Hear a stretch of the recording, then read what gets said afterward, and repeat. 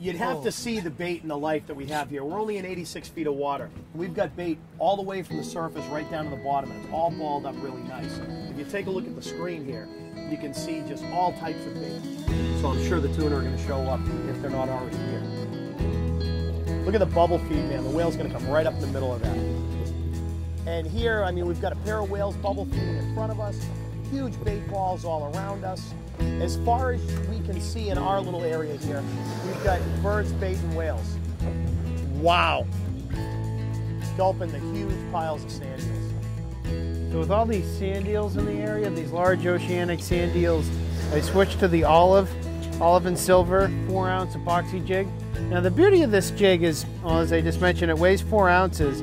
So you can cast it, it has a very aerodynamic shape, so you can cast it with these big heavy outfits. These fish are quite large. Uh, they're ranging from 250 to 400 pounds. Uh, we have a 4X VMC treble hook on this, and uh, this bait is just an excellent choice for, you know, in terms of casting distance, but also it's a real highly imitative bait.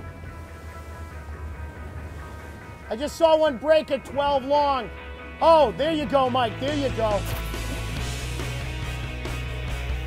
We're gonna glide right into him. We're in. Oh, we got him! Oh, he hit! He hit! You can get the dip in the water, the better. Okay. Whoa! Get him! I think they like this lure.